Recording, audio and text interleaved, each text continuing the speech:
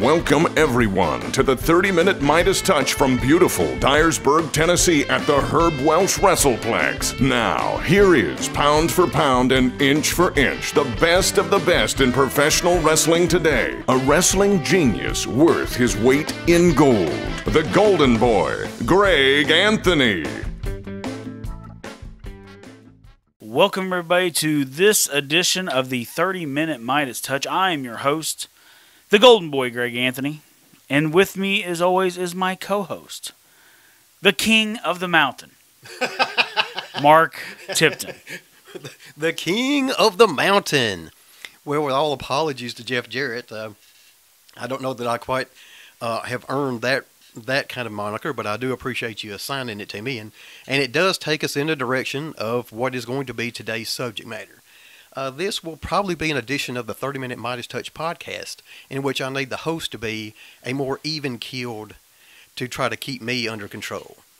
Uh, today we're going to focus on a particular promotion, and it's a promotion that, from the perspective of a fan, I've had a long term love hate relationship with, and that will probably come out during the course of our conversation. Uh, but that subject matter is the racing promotion known as, well, let's say Total Nonstop Action, now known as Impact Wrestling. Many refer to it simply as TNA. Yeah. Um, you know, TNA, like we talked about, you know, it's been in business since 2002. You know, it, ha- it has a long history, and like just like you, I I kind of have a love hate relationship with it. So I think the first place we need to start is kind of like how did it all like actually come about? You know, I don't know if anyone's ever heard the story or not, but um, so when Jeff Jarrett was in uh, WWF, WWE, um, apparently there was a situation where um, he, it was time for his contract renewal, and um, him and Jim Ross and whoever had made an agreement about what kind of money he was going to make on when he signed his new deal. Well, a couple months later, they they went back on that deal and signed him for less money, right? Okay, so then when Jeff Jarrett's contract renewal came up again, you know, uh, later they actually it passed without anyone ever knowing it, right? Like, and he was the Intercontinental Champion, so it was one of those big flubs in the office, you know, where um, you know his contract had expired and he was the champion. Now they're in this situation, right? So, and the, of course, this story's been told several times, and there's there's all, all kinds of different numbers. But basically, what happened was they were, you know, um, they wanted Jeff Jarrett to drop the title to Chyna, and he said he would for X amount of dollars, right? And then he said he uh, he eventually went to Jim Ross and said, "Hey, you know that that number I told you that I do, double that, because that's for you know screwing me on my my contract the last time." You know, so we don't know how much was. Some people say it was two hundred fifty thousand. Some people say it was four hundred thousand. You know, it's it's one of those things that gets kind of lost in translation over the years. So Jarrett took his two hundred fifty thousand or however much it was, did the match, left immediately after. You know, didn't even I don't think he even stuck around or just actually walked out of the arena in the clothes that he worked, got it straight into the car and left.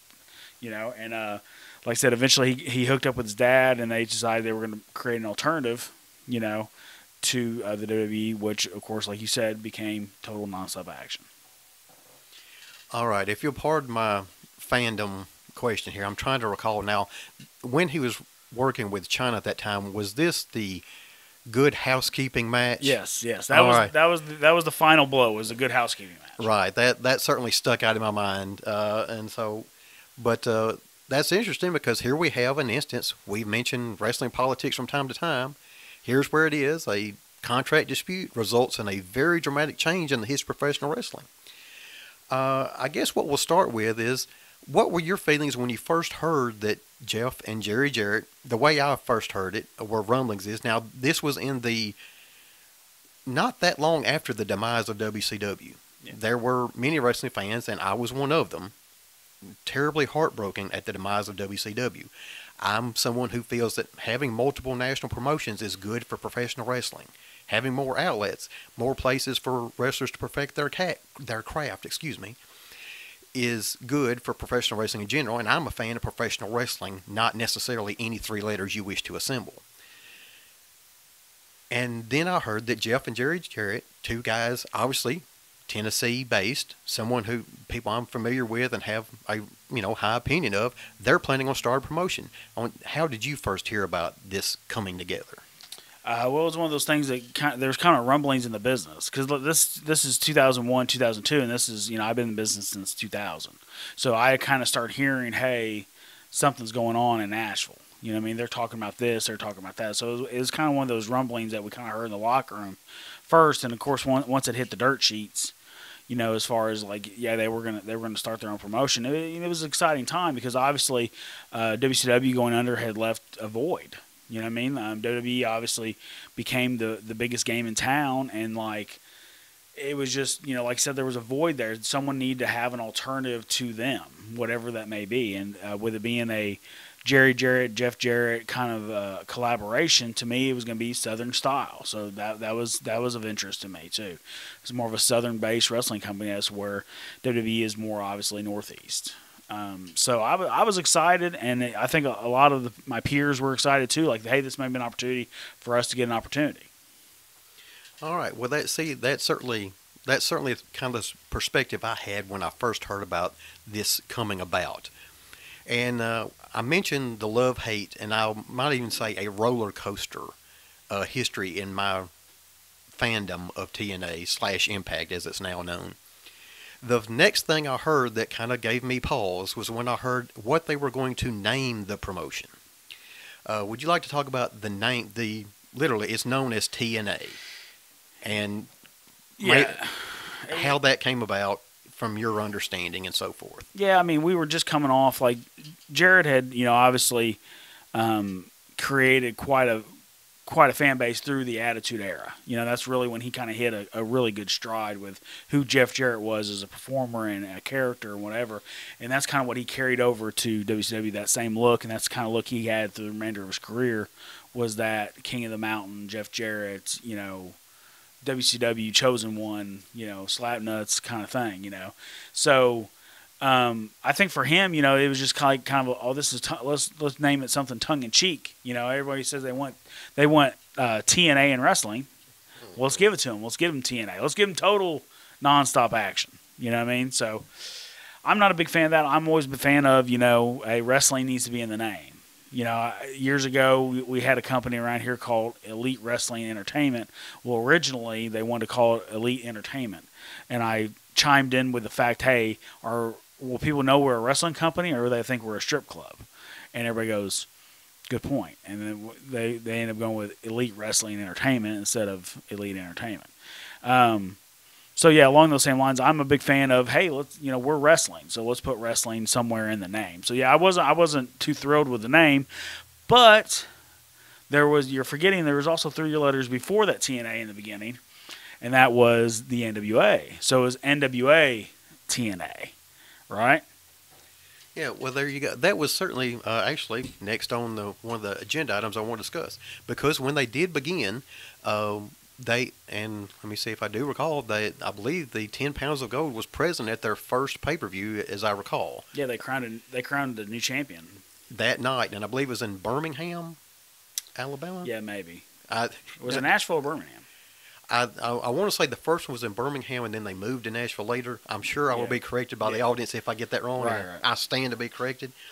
Um, but they did bring in the history and kind of the legacy, we'll say, of the NWA and made it a part of their brand new promotion. So you have a brand new promotion with a very established brand name, which does make a lot of sense. And I suppose that's where you were going with that. Yeah, because and and the NWA, as much as we don't agree with them in today's day and age, you understand the NWA, you know, is, is still very important to the history of my career. It's still important to the history of wrestling in general. And anytime a major promotion wants to become a major promotion, they've used the NWA to do it. You understand? Um, WWE obviously originally was a member, the, or at least Vince Senior was a member, a board member of the NWA. Um, when they broke away from the NWA, that's when they created their own world title, and Buddy Rogers was the first champion, things like that. Uh, WCW obviously became came from the Crockett's NWA, so its its history was there too. Same thing with ECW. Shane Douglas threw down the NWA World Title to create the ECW World Heavyweight Title. Um, TNA, no different. They they established, hey, we're going to be the 10 pounds gold. The most important world title in the history of our business is now. th- This is our focal point. That was huge. AEW, same difference. When they wanted to get some exposure, what they do? Cody Rhodes versus Aldis for the NWA World Title. You understand? So everyone's used the NWA to establish th- their promotions over the years, um, and this is just another indication of them doing that. All right. Well, one of the things that uh, really TNA became known for off the bat um, was what I would consider a bit of an innovation. And I want to see how you feel about this because when I became aware that they were not going to pursue a cable television package right off the beginning, their intention was, and I have heard this was a idea proposed by Bob Ryder, who had him involved with WCW, and he was someone who was friends to some degree with the Jarretts, and he may have helped come up with this notion. And that was the idea of having a weekly pay per view. Traditionally, uh, professional wrestling had a weekly cable presence with a monthly pay per view. They decided to kind of sidestep that and go to a a plan of a weekly pay per view. How did you feel about that? Well, I don't know if that was necessarily their their initial plan. I think maybe it was just by necessity because they couldn't get an actual weekly television gig, a national television gig. So, what's our alternative? Well, we can offer this. And basically, what they were doing, you know, back then the you know pay per views were usually about thirty bucks a month, right? So if you bought the monthly package, you got all their events for about thirty bucks. So equal equal out. It was the same as getting WWE's pay per view every year but you were getting all the content of, of them. But I don't know. I'm I'm still a big fan of obviously you know uh, you know wrestling on television, you know, and then drawing people into money matches that they'll pay for eventually. You know, whether it be at a live show or a pay per view or whatever it may be. So like I said, I don't know if this is this probably wasn't their first option, but they tried to make the best of it. You know, and it was it was different. You know, I mean, I I personally only bought like a few of them you know, during that time period. But it, I had friends that bought every one of them. You know what I mean? So I would hear about it and kind of hear results and things like that. And this is obviously way before YouTube really and all that kind of stuff. So we couldn't really get a lot of the stuff. So there's a lot of that early TNA stuff that I didn't get to see that I've I've went back over the years and kind of tried to dig up. All right. Well, they did go with that for a time period, but there did come a time where they decided it was they wanted to go in a more traditional format. Now, uh, at that time, they moved to Fox Sports Net. Uh, and let me say, up until that point, their weekly pay per views, for those of you who remember, had been taking place at the Tennessee State Fairgrounds. And then they were moving to Universal Studios in Orlando, Florida, and began their relationship with Fox Sports Net. This involved the implementation of what was referred to as a more sports based presentation. Uh, did you have any opinions on the way the Fox Sports Net version of TNA was? Um, yeah, I liked. I mean, it hit its stride really as far as production started go. I mean, obviously the Universal Studios was a much cleaner look than the the Nashville Fairgrounds. You know what I mean? Like as historic as that building is, you know, I've wrestled in it a few times myself. Um, and it's a it's a great venue, but at the same time, like you know, Universal Studios just had all the bells and whistles for like a like a live TV taping kind of thing. So um, yeah, and, and they used to do like the little uh, the little um, lower tier thing at the bottom of the screen that showed you know who was wrestling each other and how much time limit was there and stuff like that. So I like that kind of stuff. Um, but yeah, the product itself, like, and I think this has kind of been indicative of, of TNA from from the beginning. It's just there's no genuine leadership. You know what I mean? And we look at you know all the opportunities that they've had. You know, it, there is no other company that will exist that had more opportunity to dethrone WWE than TNA did. Because if you look at TNA, if you look at TNA's roster from let's say 2007, I'm going to read you these names, and I just want everyone to marvel at the at the kind of talent that they had available to them in 2007.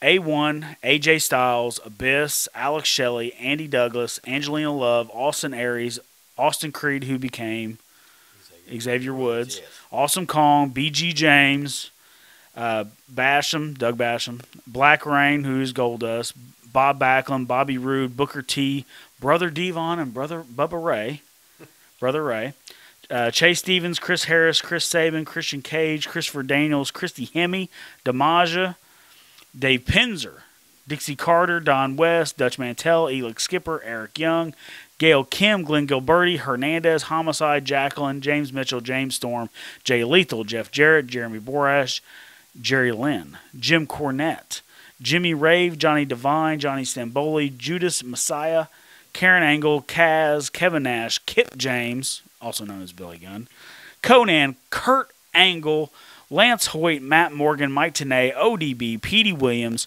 Pierre Carl Ouellet, also known as PCO now, Raven, Rhino, Rick Steiner, Rikishi, Ron Killings, Roxy, Samoa Joe, Scott D'Amore, Scott Hall, Scott Steiner, Senshi, who is Low Ki, Shane Douglas, Shark Boy, Sharmell, SoCal Val, Sonjay Dutt, Spike Dudley, Sylvain Grenier, T- Tyson Tomko, Tracy Brooks, Velvet Sky, and Sting. Oh, by the way, By the way, yeah, we also got Sting. by the way, the man they call Sting, as I'm so fond of calling. Now, the on that list, that brings me into a time period after the Fox Sports Net. In my opinion, it never really caught traction. Now, I will admit, I very rarely watch the Fox Sports Net product. Uh, I, you know, the current phrase is people get in their feelings. Well, leaving Nashville to move to Orlando had me in my feelings as a fan. Uh, I did get over it, as we all do in life, and but after the Fox Sports Net, they moved to Spike TV, and I think that's along the time frame of the talent roster that you're talking about there. Yeah. I would say that was probably the golden age. Would that be fair to say? Um, I know in particular now, some of the people we mentioned there. There's obviously the famous. Um, right off the top of the list, one of the names you mentioned was AJ Styles. For of, of mention of my biases, he is one of my favorites, and I really credit him as a TNA guy. Now, I had seen him at some point as part of an I want to say NWA Wild Side, I Mhm. believe. And he was in And- WCW at the end, too. Yes, well, that, Very, very. yeah, well, my, my fandom showing again. That era of WCW, something I try to the wipes from remember. Yeah, as like be- Total Recall. as best as best I can. Right. Uh, but he was someone who I immediately identified as a TNA guy, and along with that tremendous roster of guys who could put together a tremendous product, and in there, they really had a good thing going with Spike TV. Did you feel?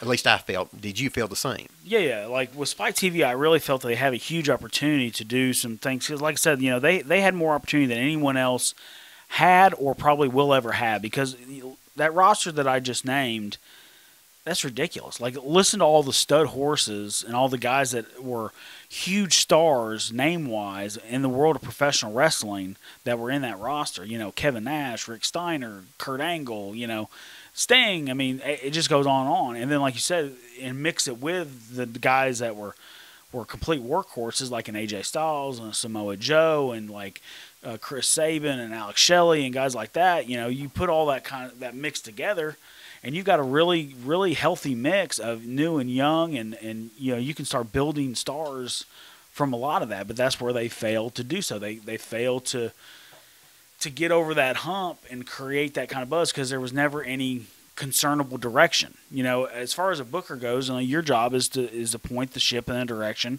and go that way. You know, well, the ship changed course so much in TNA that it was almost impossible. You know, one week they would tell us that you know Sting is the future of the company and he's the champion, blah blah blah, and then the next week it would be Jeff Hardy. And then after that, it'd be Ken Kennedy, and then RVD. It was like it was just a revolving door at the top. You know what I mean? When it should be, it's a ladder. You know, you're supposed to go up and come back down and go up and come back down instead of, you know, just like a mobile over a baby's crib. It just goes round and around.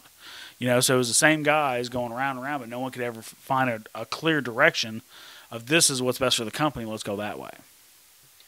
All right, I'd like to kind of uh, backtrack and, and get around the subject that you just brought up because as you went through that roster and we talked about all the things that the company had going forward, one of the real issues has really from its inception. Uh, we I heard it as from the beginning described as Jeff and Jerry Jarrett. However, very early on, and I looked, I did not write down the exact date, but very early on in the process, Panda Energy bought a ownership stake, which of course introduced later. I don't know if she was a prominent role at the beginning, but Dixie Carter became a part of it. Um, do you want to say anything about? Yeah, and that's the thing. Like, okay, so running a wrestling company and running a successful wrestling company are two different things. Okay, people d- determine success in many different ways. Is the problem? You know, I determine success if, the if the money wise you stay in the black, right? You make money. That would be considered a profitable business. Well, for some reason, the world of professional wrestling, profit for some reason has lost people's lingo. You understand? So like when they say I run a successful wrestling company, they could they could mean well, hey, we book WWE stars.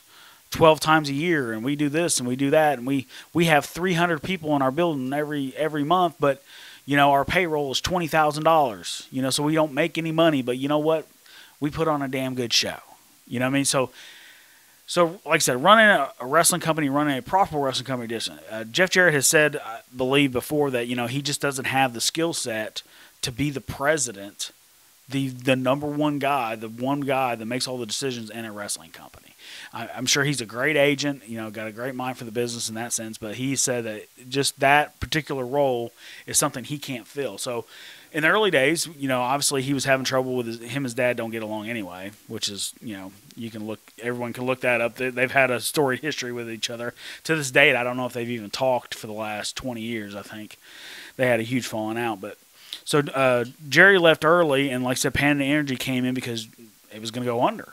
It, it was going to go under, and Panda Energy came in and saved it. Um, and I don't know if it ever turned a profit ever. You know what I mean? I remember when you know AEW was talking about, oh, we're gonna, you know, we're gonna draw ten thousand people. We're gonna, you know, be the only non WWE company to do that in the last thirty years. And I started thinking about that. And I went and did some research, and like TNA, even at its height, like had only drawn like 6,000, 7,000 people to one of their biggest events. And to me that was kind of mind-boggling. Like especially when you think about that roster we just named, right? Like I've seen bookers with a lot less talent, you know, do a lot more with it, right? And here we have, you know, this amazing talent pool, you know, and it just it just went nowhere it seemed like. Um, so yeah, that, that, it always comes back to booking, it always comes back to money, and it always comes back to those things. But like, yeah, TNA like had all the opportunity in the world, and just felt like it got squandered. And uh, I probably shouldn't hit on this again, but excuse me, my my recollection was even from the very beginning, when the issue of naming the company what they named it, that was a source of dissension between Jeff and Jerry, as I recall, because I certainly at the time thought Jerry Jarrett is going along with this and uh, apparently he wasn't. But uh, that brings in, but Dixie Carter, you have someone without a wrestling background, and it to me it appeared that this was something that was almost a pet project for her, handed to her by her father, who ran Panda Energy, is my understanding.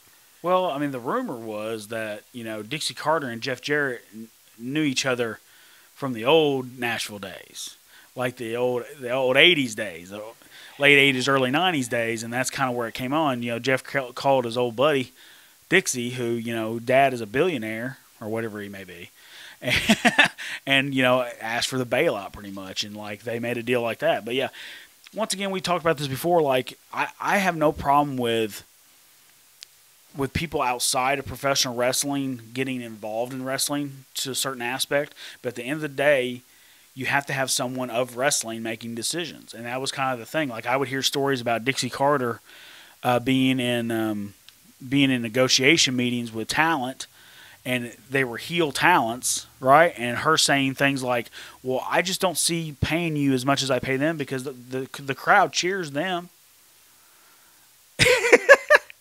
you know what I mean? Like that total, like how, how many levels can you can you miss on, on when you're doing something like that? So yeah, it's like it just if you want to say money mark, I mean that's that's a huge that's a huge thing. Yeah, money mark. Same thing with Tony Khan, huge money mark, the biggest money mark in history at this point. So yeah, like I said, I, don't. I like I like an outside perspective, but at the same time, you know, it has to be reined in by someone with um, expert knowledge in professional wrestling. All right. Well, thank you for using that term. I was sitting in my sitting back in my chair with my head in my hands, trying to decide if I wanted to mention that term because that's really what that screams that comment. But I'd like to move us forward a little bit. We've seen lots of fits and starts with the management side of TNA, and they made a decision which caused me a great deal of concern at the time, and I was, for good reason, as I found out later on. They decided to bring in, to help kind of revitalize the company at one point, Eric Bischoff and the immortal Hulk Hogan. Yeah, I mean, I as a fan, like I was intrigued by that. You know, here we are. You know, it's it's Hogan and Bischoff. It's are they going to be able to have the same equal the same success they had in WCW and give Vince another run for his money? Um, you know, that first night that I watched, you know, it was it was intriguing. You know, I mean, it was new, it was exciting.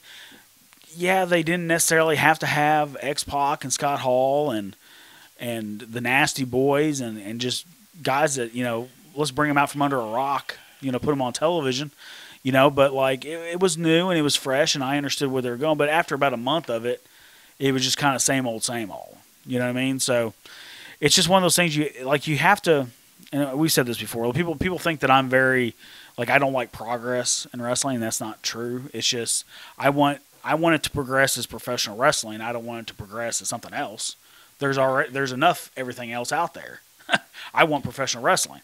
So I want it to progress, but still, but still keep the the core values that made professional wrestling great. And I think that was what was always lacking with TNA was, um, you know, they if they did try something, it was so far out of the realm. You know what I mean? Like it just didn't make any sense, and there was no continuity to the booking at all. All right. Well, one of the one of the decisions they made that really uh, I disliked from the moment I heard they were going to do this, and I'll let you describe about this, is they decided to go head to head with Monday Night Raw. They moved from their, I believe it was a Thursday night time slot. They arranged to move to go head to head with the biggest show in the world of professional wrestling at the time and take on Vince, I suppose. Yeah, that was. I mean, if you look at it now, that's obviously a very ill-timed move. It would probably been better for them to stay on Thursday nights and kind of establish themselves and what they are and what they're doing. Than if the numbers suggested and if they got gained enough steam, yeah, let's let's go head to head with them. Let's let's make a go for it. But like they had no other than hey, Hogan and Bischoff are in charge now. You know what what really indications did they have now? What TNA did well, and we don't talk about a lot, is you know um, they capitalized on things that WWE wasn't capitalized on, uh, capitalized on on at the time, and you know that's like the X division. The X division was basically a souped up cruiserweight division where it was you know it wasn't weight limits, it was no limits. You know, and you had guys like Samoa Joe and Christopher Daniels and AJ Styles that started in there and stuff like that, and they were really all the all the kind of matches that you're seeing on all these programs nowadays, that was really the birth of, of that kind of stuff was in in the X division. And then also you have things like, you know, a lot of people like to say the women's revolution started in NXT. No, the women's revolution started in TNA because they were the ones that really pushed the knockouts. You know what I mean? They were the ones, Awesome Kong and Angelina Love and ODB and you know Tracy Brooks and a lot, just a lot of those, you know, you know, uh, Gail Kim, you know, another great one. I mean, they were the ones that were really giving females time in their matches, letting them wrestle, main evented even some. You know, they were doing that a decade, 15 years before WWE ever thought about doing it. And then, of course, tag teams. You know, tag teams. You had, you know, you had Beer Money, you had America's Most Wanted, you had the Motor City Machine Guns, you had the Dudley Boys, or as you, uh, as you love to call them, Team 3D. But either way, they they had they had all those elements that like if WWE wasn't capitalized on it, wrestling fans want it, then hey, we are the alternative and we've got that. But then once Hogan and Bischoff got there, they tried to to whitewash that stuff, I guess, you know, and try to get try to get rid of it or tr- at least try to thin it out some. And I just don't think they I don't think they understood the product they were trying um, to live in. Well, I guess one minor but visible aspect of that was TNA had kind of developed a, a, a name for itself because they had employed the use of the six-sided ring, which kind of made them stand out. I suppose was the idea. Now Hogan and Bischoff returned it to the four-sided ring of tradition, um, so that kind of lets you know where they were trying to go. I suppose the next thing that happened is we saw where backstage issues created problems constantly. And the next thing I'd like to talk about is there was a time period in a relatively short time period where we saw the departure of both Jeff Jarrett and the one that meant a great deal to me personally as a fan was AJ Styles left TNA. Yeah, first I want to say I hated the six sided ring because of all the things you're going to change in professional wrestling. Why change the ring? You understand? Like that's you could you could put a ring in a car lot right now, and people will go by and go, "Oh, that's a wrestling ring." You know what I mean? They're, it's so recognizable. There's no reason to ch- ever change it. I understand that they were trying to set themselves apart, like we said, but also from a working standpoint, it's just it's very awkward to deal with because when you hit the rope in the middle on one side, you end up in a buckle on the other side unless you run it diagonally. You understand? So it's it's always a weird thing. Anyway, um, so yeah, when um, I'm sorry, what was the question again? The I was I was focused on when uh, Jeff. There's a time they- period yeah, where yeah. Jeff Jarrett and AJ left. Yeah, I mean they've had so much so much backstage drama and, and tumultuous situations. You know, like the thing with Jeff, you know, was you know he was he was banging Karen Angle, you know, and like Kurt behind Kurt's back or, or were they separated? I can't remember what it was, but either way, he was he was messing with the man's either wife or ex-wife, and you know he got sent home. you know, because Kurt Angle was obviously the biggest star in the company at that point, you know, and it's like it put everything in jeopardy. You know, that's a that's a huge mistake, you know, as far as business goes and life in general. But of course, Jeff Karen ended up married and lived happily ever after. So whatever. But I mean, from a business standpoint, it was a horrible, horrible thing. And AJ, I think he's just one of those things like he just, you know, he done everything he could do, and like you know they they offered him money but it wasn't enough money. Like you know I've, I've established myself as this for you you know and you can't pay me what i'm worth then i have to go find it elsewhere. And that's where he started going to japan and mexico and taking the independent bookings and things like that and eventually end up in wwe but yeah it's just it's always been it's always been kind of a roller coaster you know with everybody in within the company you know and course, you know, Vince Russo and Jim Cornette and Dutch Mantell and Jeff Jarrett and Don West and Mike Tenay and Dixie Carter and, you know, whoever else may have been writing or booking or whatever at the, at any point, you know, like it, it just, it always felt very, you know, like schizophrenic. Like no one knew exactly what was going on. All right, I know our, our time is almost certainly drawing near, but I do, uh, you know, as a as a fan, I was thought, well, the person I most, as a watcher of the product, the person I most identified with their brand was AJ Styles, and as I recall, he left, got into a convertible, and literally drove away on one episode of their television, and I felt myself, I thought, well, maybe I'm going too, uh, and but that's, and. Uh, and since we're drawing, and it's unfortunate we're drawing short because we didn't get to more of the modern day stuff, such as this is the company that helped introduce one of my least favorite subjects, the cinematic match. Uh, like I said, we're gonna, we're gonna do a whole episode on on cinematic matches and my thought process and all that or lack thereof. But um, once again, we thank everyone for joining us here on the 30 minute Midas Touch. I am your host, the Golden Boy Greg Anthony, for my co-host, the King of the Mountain, Mark Tipton. Thank you and goodbye.